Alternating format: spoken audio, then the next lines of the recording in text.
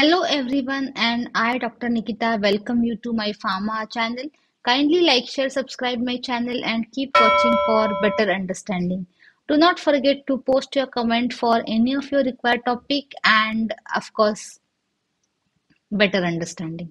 So today we are going to see zeta potential in the colloids. So to develop a potential around the char particle, you have some charges responsible for it. So how charges are getting developed onto the solid particle? First is because of the adsorption from the ion. Second, because of the ionization of the surface group. And third is because of the pH of the media. So if this is the particle and which is dispersed particle interface surface and it is distributed inside the medium which is carrying many charges positive negative charges these ions are getting attracted toward the surface. They are getting adsorbed onto the surface and they are imparting charges to the surface. So they are getting adsorbed at the interface of the surface and they are imparting charges. Now second you have ionization of the surface group. So these uh, particles are the or maybe organic molecules and they may contain some groups onto the surface. So if this is COOH SH NH2 NH and these particles are dis dispersed into the solution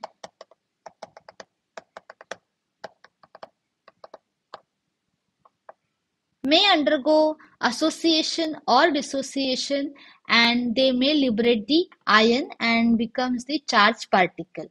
So it will have COO minus H plus S minus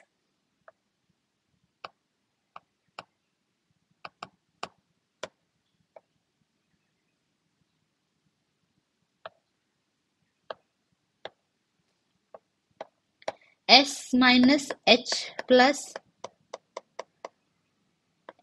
NH3 plus NH2 plus. So they may acquire or donate the uh, charges and uh, ions and they become charged particle.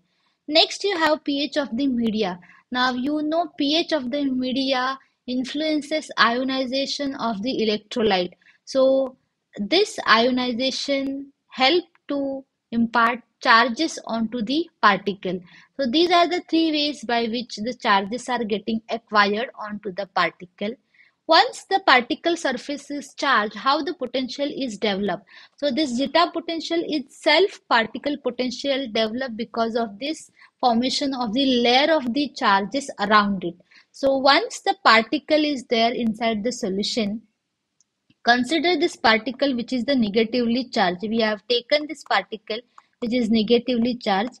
Because it is negatively charged, it will attract all the positive ions from the surrounding solution. So it is attracting the positive ions from the surrounding solution and this brown color layer which you can see it is the positive ion uh, layer which is tightly bound to the sur particle surface and it is the compact layer so this is represented by brown color and it is also called as the stern layer or the stationary layer or the compact layer.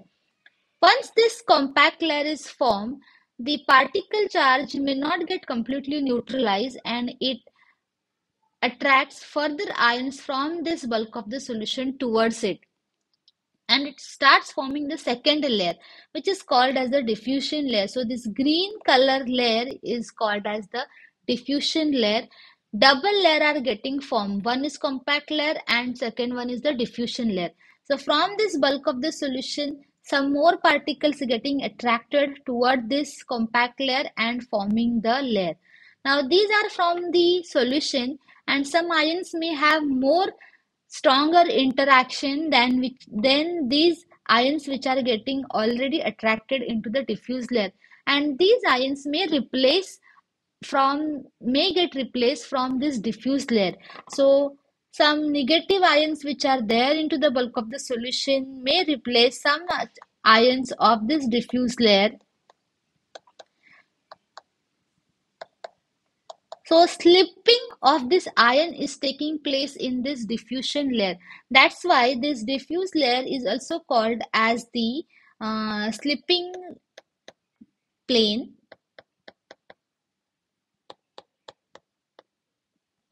or shear plane. Okay, so this diffuse layer where the exchange of ion is taking place, some shear is getting exerted due to the ion exchange. It is called as the shear plane or the slipping plane. So potential across this diffusion layer is called as the zeta potential. So if you consider the potential at the particle surface, this is the potential, it is the surface potential. Now this compact layer potential which will be little bit less than the surface potential, suppose it is here, corresponding to here, this is the Stern potential or compact layer potential and it is following the down curve and the potential at this diffusion layer will be further less as compared to the particle potential. And it may you may say this is the potential at the uh, surface uh, diffuse layer. And this is uh, further following the down curve. So as you go on increasing the distance your potential will decrease and in the bulk of the solution if you see here this this will this region is the bulk of the solution where your potential becomes the zero. So this layer where uh, around the diffusion layer you have the potential which is called as the zeta potential. Okay? So potential across this diffuse layer is a zeta potential and this zeta potential gives stability to the particle.